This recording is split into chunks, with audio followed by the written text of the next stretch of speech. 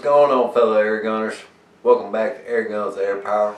I got the uh, gun cabinet finally done as I showed it live and uh, I think it's pretty good, pretty cool, I like it.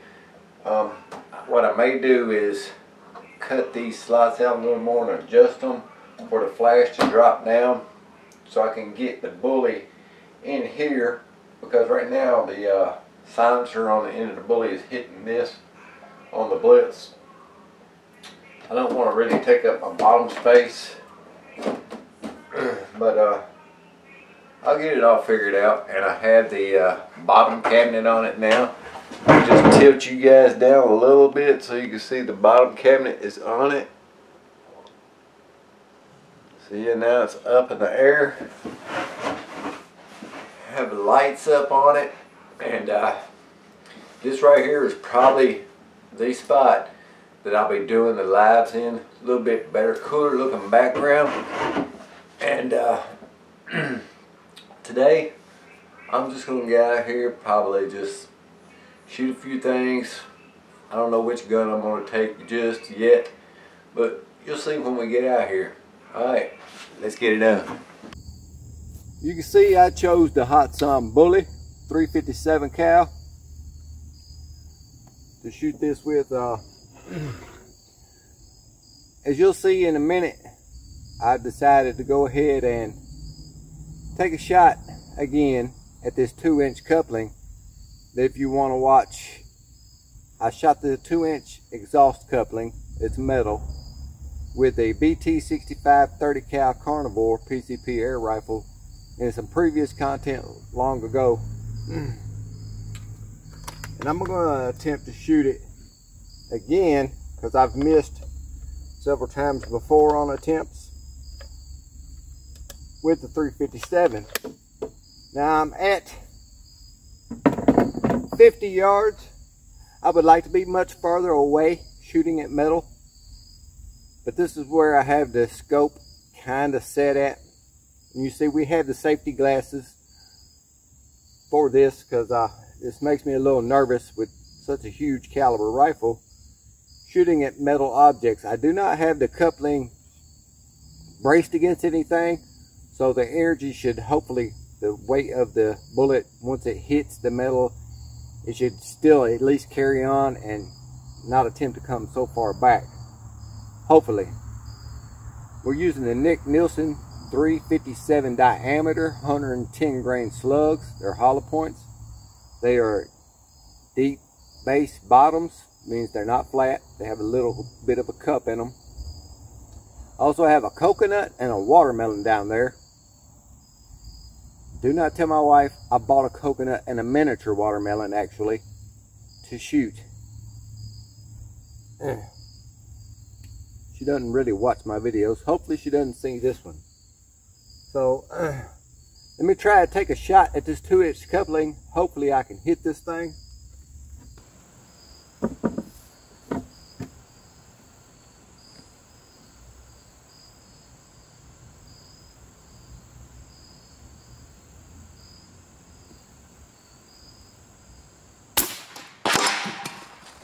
Hey, I got it. What do you know? Now we're going to try to shoot the coconut. I forgot these slugs like to be pushed in so they don't hit the side of the breech. Hopefully we can hit that coconut just as soon as we pull the trigger like we did that couple.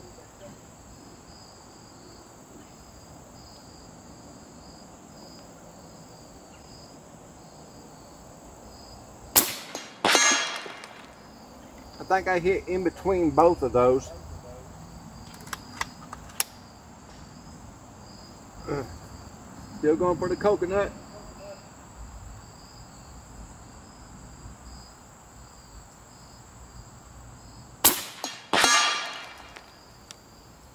I think I see a chunk off of it. That is not good enough for us. It's hitting right in between them.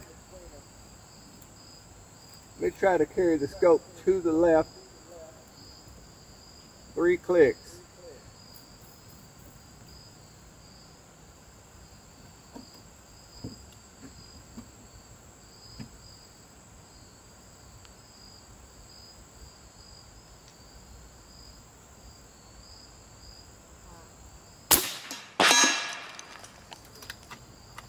Ah.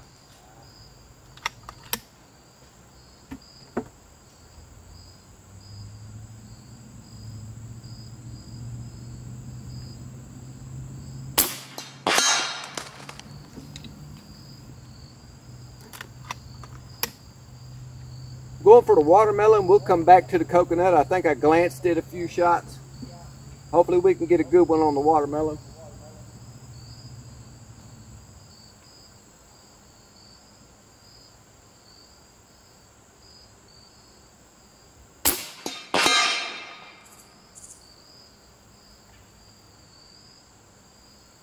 Think we went right in the center of the watermelon.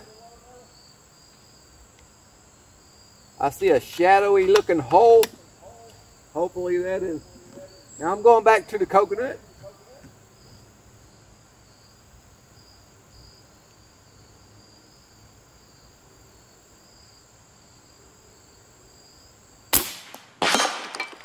Good shot. I think I have one more shot to hit that watermelon again.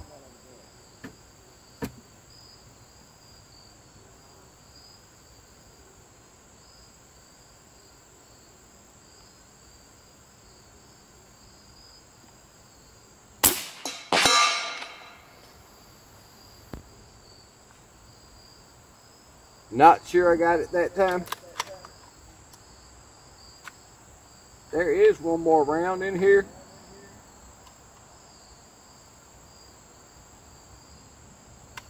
Question is, can I get it in the spot it needs to be to chamber it? I did. Well, I hit that watermelon again since it's the only thing standing there.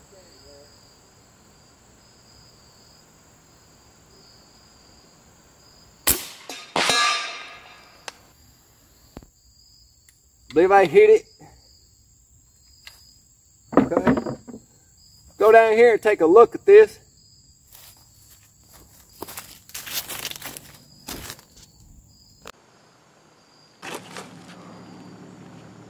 Okay guys, here's our watermelon. I believe that is two shots inside of there. And there is the back of it, or what's left of the back of it. Blew a really good chunk out of that thing. Now here's a part of the coconut. Where is the rest of the coconut?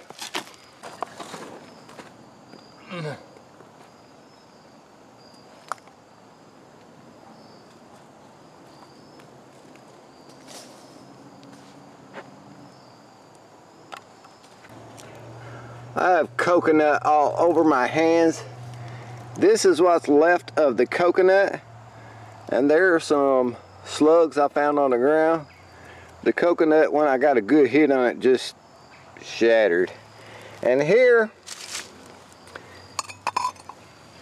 there's your hit on the coupling. Looks like it glanced off the side of the coupling. Didn't get a solid shot on it but it bulged it out bulged it out pretty good. I believe if I would have got a solid shot on that because it just grazed the side of it. So I had the coupling setting this way. It just hit the side.